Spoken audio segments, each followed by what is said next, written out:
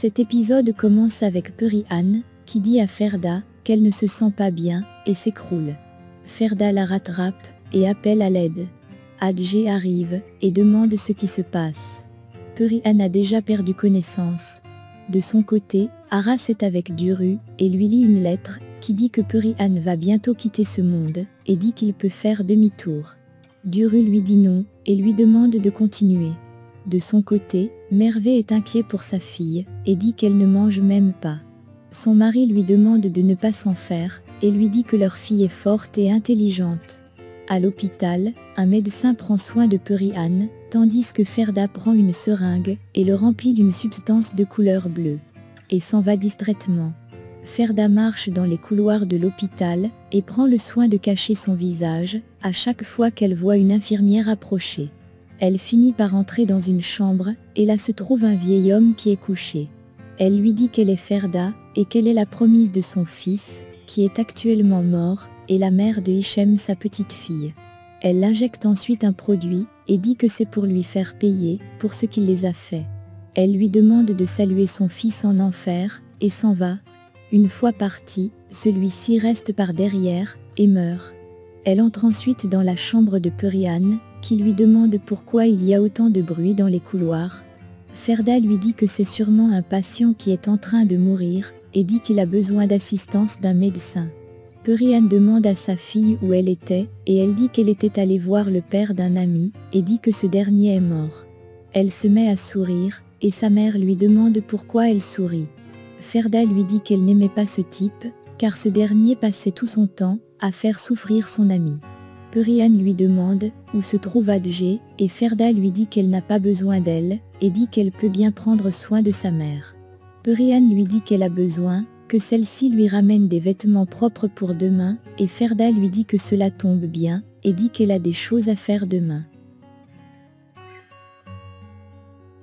Le lendemain, Ferda s'en va sur la tombe du père de sa première fille Shem, et dit à Ahmet qu'elle a fini enfin par le venger, et dit que son père est mort, et espère que ce dernier est en train de souffrir en enfer, en criant son nom.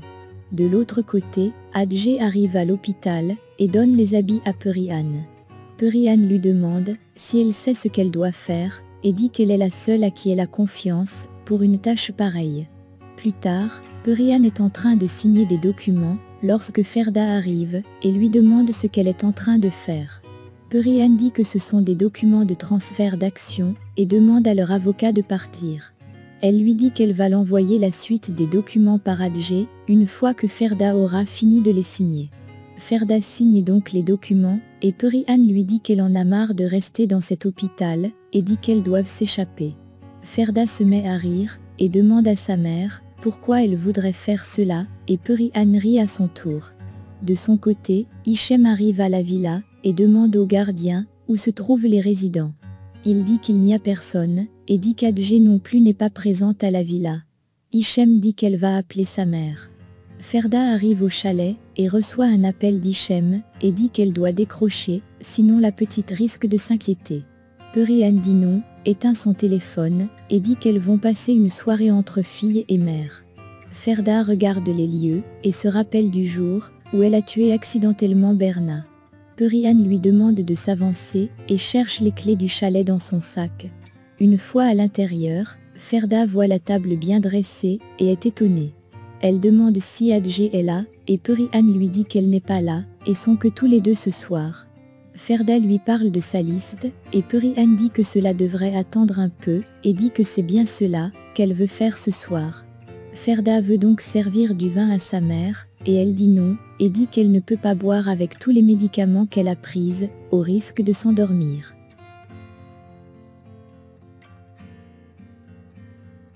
Ferda se sert du vin et commence à boire, elle commence également à manger de la nourriture, et Purihan ne fait rien de tout cela. De son côté, Hichem essaie de joindre sa mère, et celle-ci ne décroche pas. Elle essaie avec Adjé, et Adjé ne décroche pas non plus, et celle-ci est bien au chalet, et cachée pas très loin. Purihan demande à Ferda si elle se rappelle de ce qu'elle lui avait dit à la cuisine, sur le fait qu'elle s'était faite violer. Ferda lui dit oui, et dit que sa mère lui a dit qu'elle ne pouvait pas garder l'enfant, et l'a obligée à se marier, avec l'homme qui la violait. Perihan lui dit qu'elle lui a menti, et dit qu'on lui a obligé de se marier, avec le fils de l'homme qui l'a violée. Ferda comprend alors tout de suite que l'homme qu'elle pensait être son père ne l'était pas en réalité, et Perihan lui raconte sa propre histoire. Elle dit que le père de son mari l'a violée, et on a obligé son fils à l'épouser, et l'a fait passer pour le violeur. Elle dit ensuite que ce dernier a passé son temps à la frapper, en espérant que le bébé meure, mais Ferda est quand même née. Elle dit ensuite que ce dernier la frappait tout le temps pour cette raison, car ça lui rappelait tout ce qui s'est passé. Elle dit qu'elle était donc obligée de l'abandonner, car elle ne pouvait plus supporter ce dernier. Ferda se sent directement mal, et n'arrive plus à respirer. Perihan soulève alors un flacon, et Ferda comprend qu'elle vient de se faire empoisonner par sa propre mère.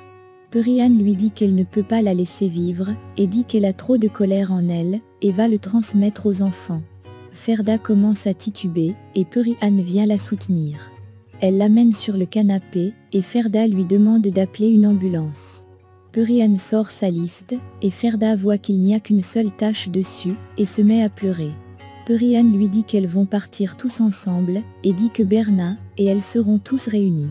Elle la couche sur le canapé, et dit qu'elle est désolée, et lui demande de se reposer. Elle se couche près de sa fille, et lui caresse les cheveux.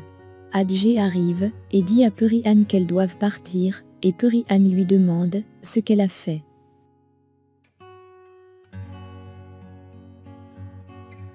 Adjé dit qu'elle a fait ce qu'il fallait, et dit qu'elles doivent partir. Une fois sortie, Adjé ouvre un bocal, et relâche un scorpion dans le chalet, et referme la porte. Elle demande à Perihan d'avancer, et celle-ci est toujours sur le choc. Adjé lui dit qu'elle a fait ce qu'il fallait, et dit qu'il n'y a plus de retour possible.